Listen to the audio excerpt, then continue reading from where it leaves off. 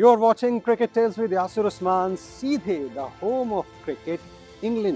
आज कहानी एक क्रिकेट मैच में घटी एक ऐसी कंट्रोवर्शियल घटना की जिसके बारे में एक देश के प्रधानमंत्री ने कहा the most disgusting incident in the history of cricket I can recall यानी क्रिकेट के इतिहास में घटी एक बेहद घटिया इंसिडेंट एक बेहद घटिया घटना जिसके बारे में एक देश के प्रधानमंत्री को ऐसा तीखा रिएक्शन देना पड़ा।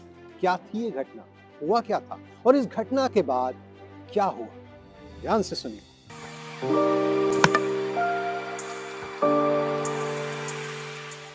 क्रिकेट में गेंदबाज कंधे के ऊपर हाथ इस तरह घुमा के बॉलिंग करता है लेकिन आपको याद होगा, बचपन में जब हम क्रिकेट खेलते थे तो एक अंडर आर्म गेंद भी हुआ करती थी, इस तरह जो फेंकी जाती थी। वो सब मोहल्ला क्रिकेट में चल जाता था।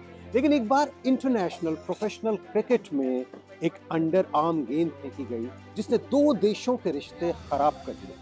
और इसके बाद इतना विवाद हुआ कि इसी गेंद की वजह से क्रिकेट का एक नियम हमेशा के लिए बदल दिया तो ये गेम चेंजर भी थी और रूल चेंजर गेम भी थी। फरवरी 1981 मैच था ऑस्ट्रेलिया और न्यूजीलैंड का। मेलबर्न में वर्ल्ड सीरीज़ का मैच था। दोनों देशों में ये जो पड़ोसी देश है, हमेशा से राइवलरी रही है, कड़ा मुकाबला रहा है। और एक एक मैच इस सीरीज़ का दोनों जीत चुकी थी। तीसरा मैच था इस सीरीज़ का, यानी जो इस मैच को जीता, उसी के नाम ये सीरीज़ भी होने वाली थी। यानी इंपॉर्टेंट मैच था। खैर, ऑस्ट्रेलिया ने पहले खेलकर 235 रन बनाए, जवाब में न्यूजीलैंड का स्कोर 8 विकेट के नुकसान पर 229 229 रन था। यानी उसे स्कोर बराबर करने के लिए आखिरी गेंद पर छह रन की ज़रूरत थी। यानी सीरीज़ डिसाइडिंग मैच था हाई प्रेशर मैच था, और इतने हाई प्रेशर वाले मैच में वैसे भी आखिरी गेंद पर छक्का मारना आसान नहीं होता। यानी हर हाल में ऑस्ट्रेलिया के जीत के चांसेस भी ज़्यादा थे, लेकिन इसके बावजूद ऑस्ट्रेलिया ने एक बेहद घटिया हरकत तो आखिरी बॉल थी मैच की, ऑस्ट्रेलिया के कैप्टन थे ग्रेग चैपल। हाँ वही सौरभ गांगुली से पंगा लेने वाले ग्रेग चैपल।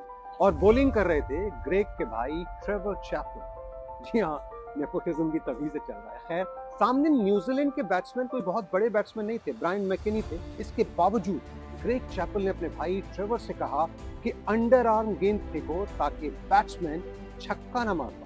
ये बात अंपायर को भी बता दी गई और इसके बाद अंडर आर्म गेंद फेंकी गई। बैट्समैन ब्रायन मैकनी ने उसे रोका और उसके बाद गुस्से में अपना बल्ला फेंक दिया। न्यूजीलैंड मैच हार गया और सीरीज़ भी, लेकिन निराशा हार से ज़्यादा ऑस्ट्रेलिया की ऊँची हरकत की ये सीरीज़ हार चुका था न्यूजीलैंड, लेकिन हंगामा शुरू हुआ इसके बाद। न्यूजीलैंड के सपोर्टर्स मैदान में घुस गए, कप्तान जो हावर्ड अंपायरों से बहस करने लगे, लेकिन अंडर आर्म गेंद नहीं फेंकी जा सकती, ऐसा तो कोई नियम था ही नहीं। यानी अंडर आर्म गेंद फेंकना क्रिकेट के नियमों के खिलाफ नहीं था। हाँ खेल भावना। स्पोर्ट्समैन स्पिरिट के खिलाफ था। इस एक गेंद की गूंज बड़ी दूर तक गई। इतनी कंट्रोवर्सी हुई कि न्यूजीलैंड के प्रधानमंत्री रॉबर्ट मल्डून ने बयान दिया। It's the most disgusting incident I can recall in the history of cricket वो आगे बोले, It was an act of true cowardice I consider it appropriate that the Australian team were wearing yellow. मामला इतना बढ़ा और political हो गया तो शर्म ऑस्ट्रेलिया के प्रधानमंत्री मैल्कम फ्रेजर को भी आई।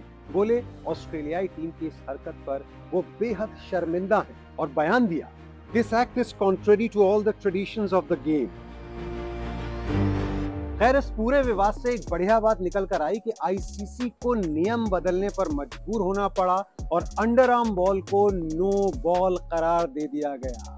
अंडर आर्म बॉलिंग को बैन करते हुए आईसीसी ने कहा it's not within the spirit of the game बाद में इस घटना के लिए चैपल ब्रदर्स ग्रेग और ट्रेवर चैपल ने सार्वजनिक रूप से माफ़ी भी मांगी, लेकिन आज भी क्रिकेट जगत में इस घटना को एक शर्मनाक हरकत के तौर पर याद किया जाता है। कभी कभी तो मुझे लगता है कि Saurav Ganguly was right about है ना?